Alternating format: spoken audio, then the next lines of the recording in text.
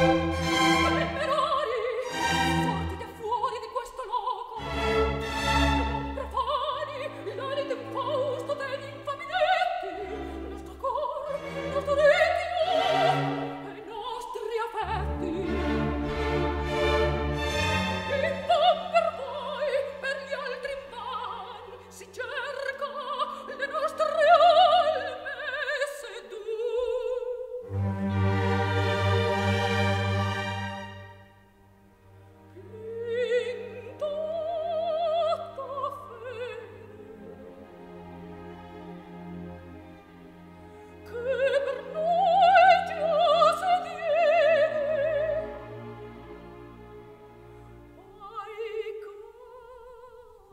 mom.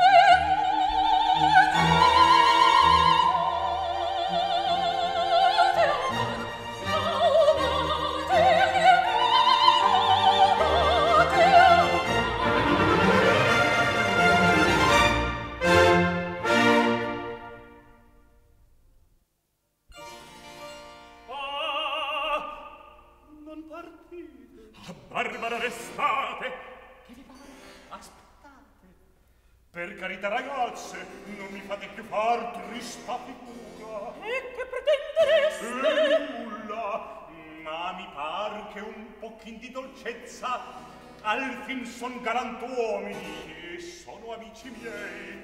Come? E udire dolce? Le nostre pene e sentirne pietà la celeste beltare gli occhi vostri, la piaga aprire i nostri, qui rimediar può solo il balsamo d'amore.